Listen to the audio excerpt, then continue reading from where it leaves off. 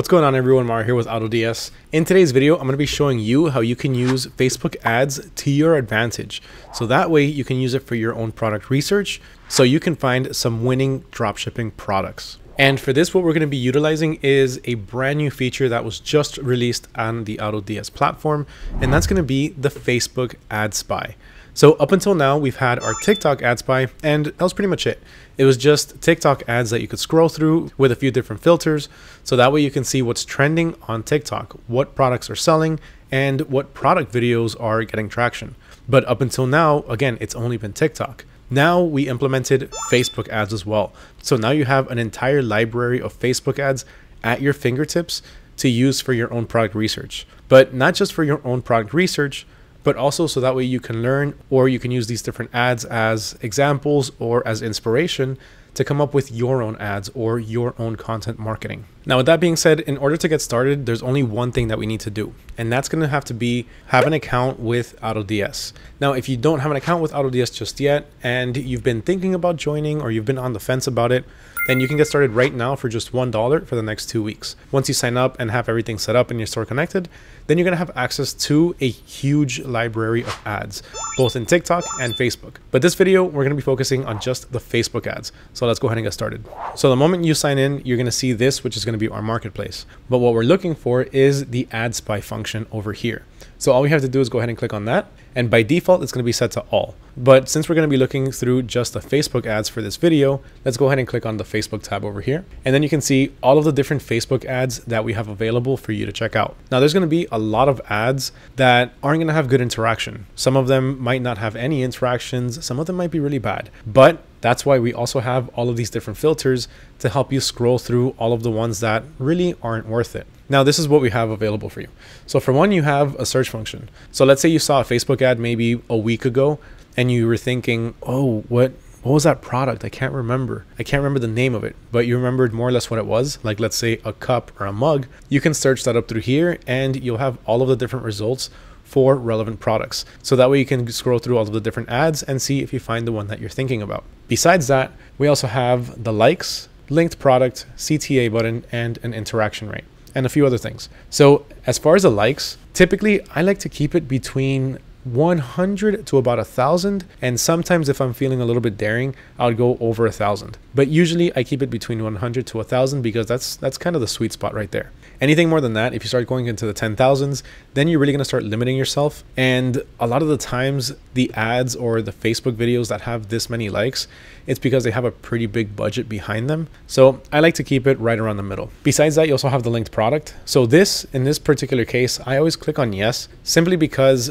a linked product is gonna basically be a CTA button. So as long as there's a CTA button on the ad, more than likely it's gonna be taking you to a product page. And that's why I like to have the link products turned on. But aside from that, you also have the CTA button itself. So what do you want the CTA button to say? On Facebook, there's a lot of different ones. You can do things for either booking appointments, for shopping, visiting stores, things like that. So here you have all of the different options. Now my suggestion to you always go with the one that's relevant. For the most part, you're going to be choosing either shop now, order now, maybe visit store, sometimes shop here, buy it now, but you're never really going to be going through either download or watch now or even send message or learn more. Sometimes learn more, but most of the time it's going to be the top three. And then one of the last filters that you see up here before we get into the more advanced filters, you have an interaction rate. Now, interaction rates can be tricky because, because this is going to really depend and it's going to vary based on each video. Some audiences might have more of an interaction rate than others.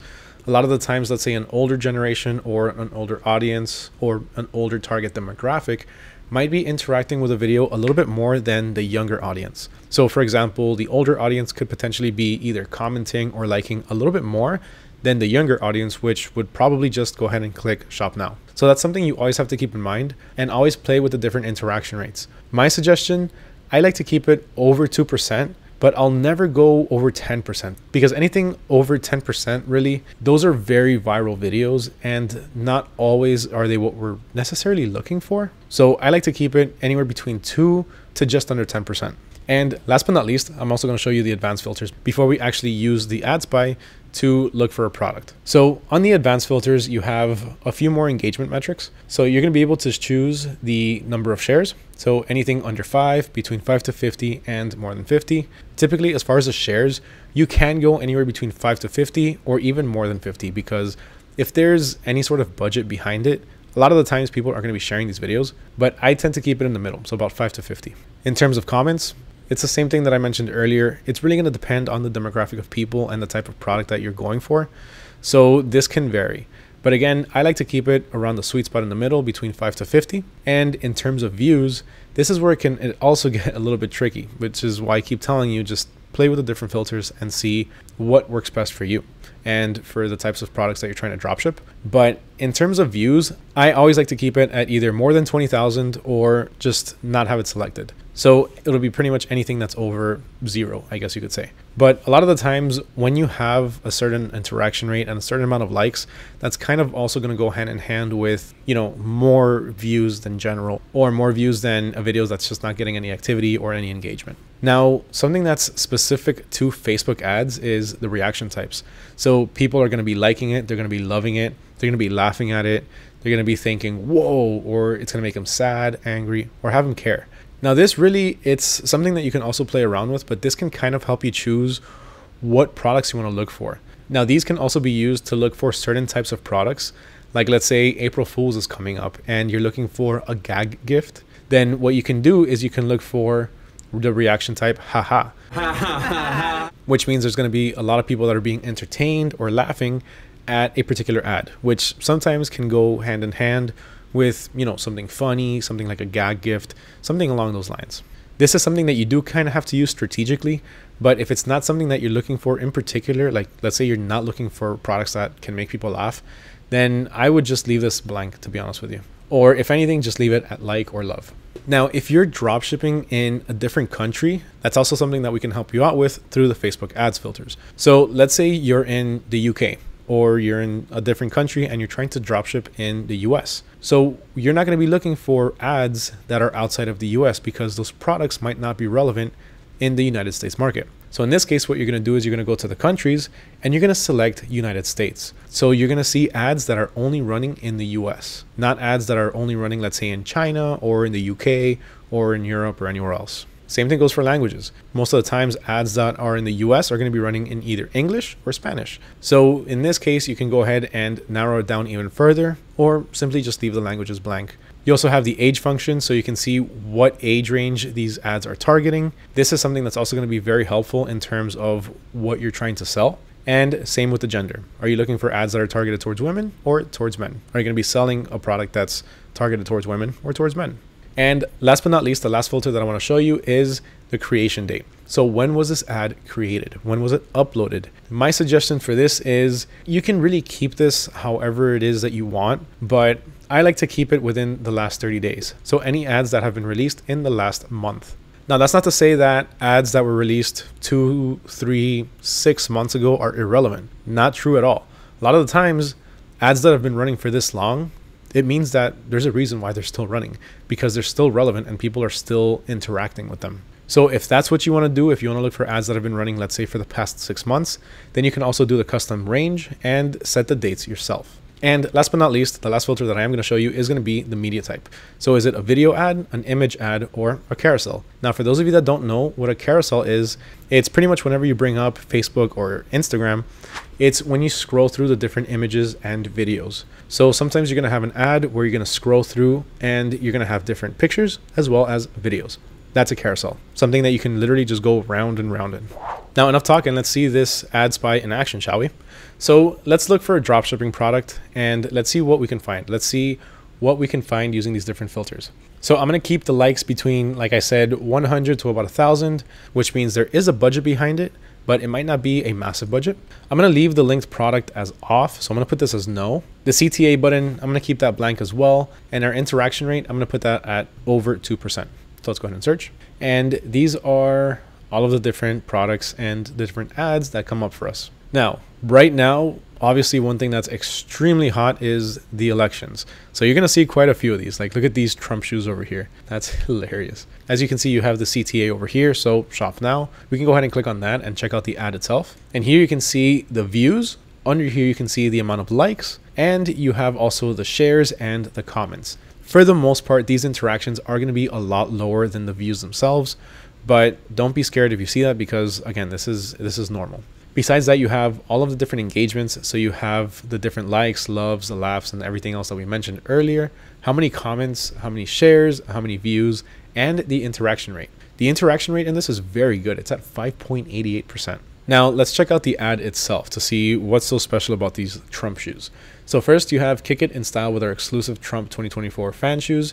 So here you can see you have the entire description and then you can actually watch the ad itself. You can watch the ad directly through the page over here, or you can click on shop now and it'll take you directly to the website selling the product. Now I was gonna show you how you can source a product like this, how you can backtrack it to check out the supplier, but they actually have their right clicks turned off, which is a pretty interesting feature. It's not something that I've seen before, but typically you can right click and be able to do search image with Google, but they disabled it on this website. But don't worry because I'm going to show you that in another ad really fast. But looking back at the ad details, we can also see to see the original post. So if we click on here, we'll see the original Facebook ad on Facebook. So it will be this one right here. Besides that, you can also see more ads from the advertiser. So if you click on this, you're going to see all of the different ads that this advertiser, GOP Gear, is running. Then looking at the ad timeline, you can see when the ad was created, when the actual ad started running as an ad, and the last time that it was seen by anybody.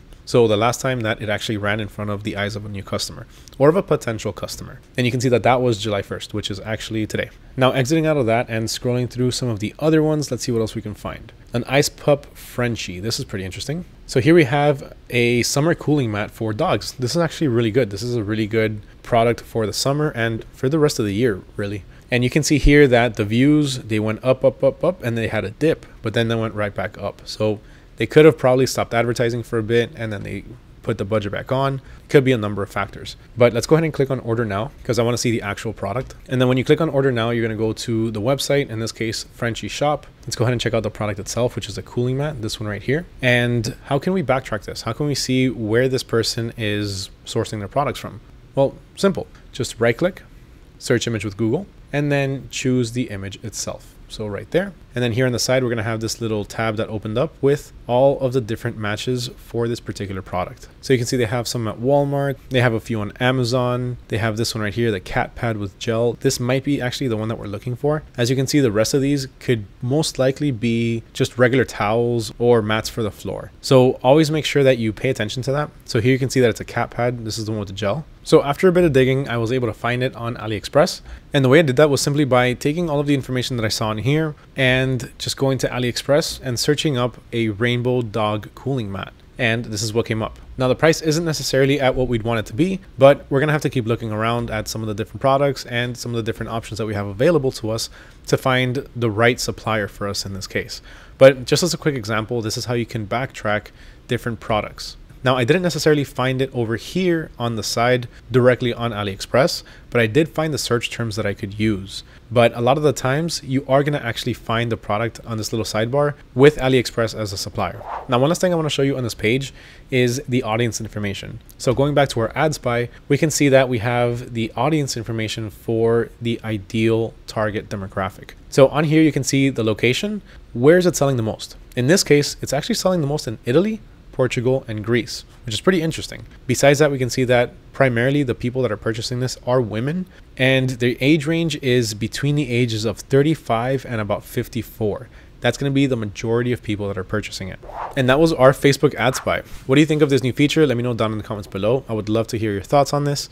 Remember, if you want access to the Facebook ad spy, all you have to do is simply sign up to AutoDS and become a member. And if you sign up right now, you can go ahead and get started for just $1 for the next two weeks.